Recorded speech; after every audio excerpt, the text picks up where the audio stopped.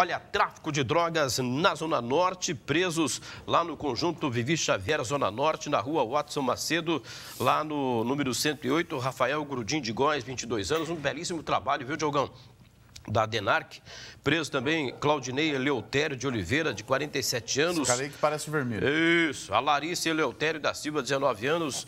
Né? E os policiais civis da Denarc prenderam, então, essas pessoas lá no conjunto do Vivi Xavier, viu? Três pessoas envolvidas com o tráfico de drogas. Segundo informações dos policiais, o Rafael Grudim de Góes, 22 anos, ele saiu, Diogão, da região sul da cidade com o veículo Gol sentido à Zona Norte e no banco traseiro do veículo em dois fardos tinha cerca de 50 quilos de maconha. Nossa. Os policiais, Jogão, realizaram... Não, não, não tem nada.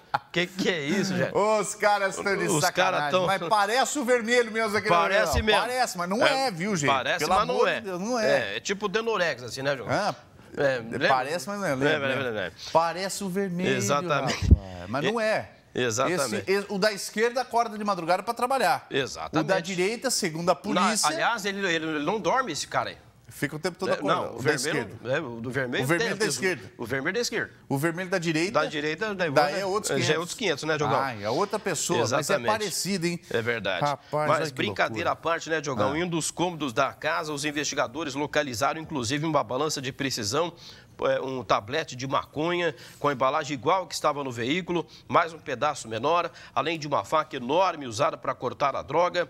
E em entrevista, né, a equipe com o Alex William, os três disseram ser inocentes. Sim. Ser inocentes, né? E não sentiram o cheiro da maconha.